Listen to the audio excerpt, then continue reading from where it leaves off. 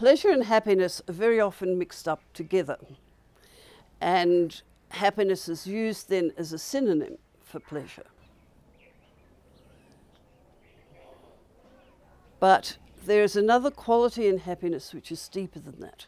Pleasure just means that um, I'm very hot and somebody gives me an ice cream, it cools me down for a little while, I have pleasure in that, and then when I finish the ice cream, I'm hot again. Happiness is a state of mind different from pleasure. The happiness that we're looking for is a state of mind which is with us all the time, without exception. And that happiness is, is related to the joy of seeing other people being happy or achieving what they want or being released from their suffering in some way. So there's joy involved in that. That happiness is about also comes from recognizing the great kindness that we have from other people that mostly we don't recognize. But if I look at my robes, all right, I've got a, all this stuff over me, but where did this come from? And, and it's a combination of nylon and cotton. So the nylon would have come from a factory, and people would have had to build the factory.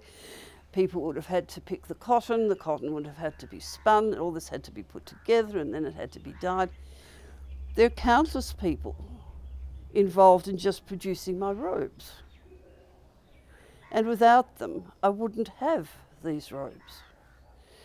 So when we recognize this great kindness of others, then our hearts are also filled with pleasure because we know we're not alone.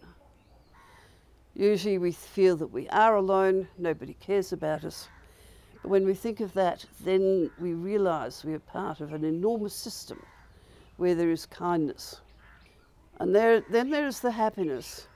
And this is probably the deepest of happinesses.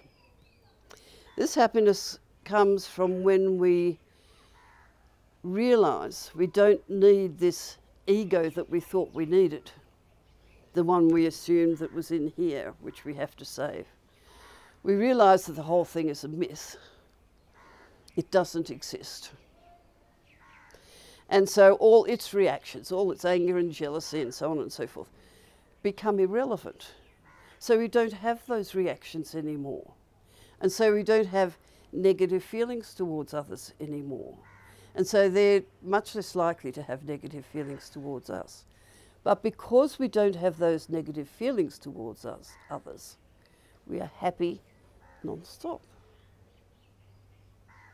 It just goes on. There's no reason to be unhappy.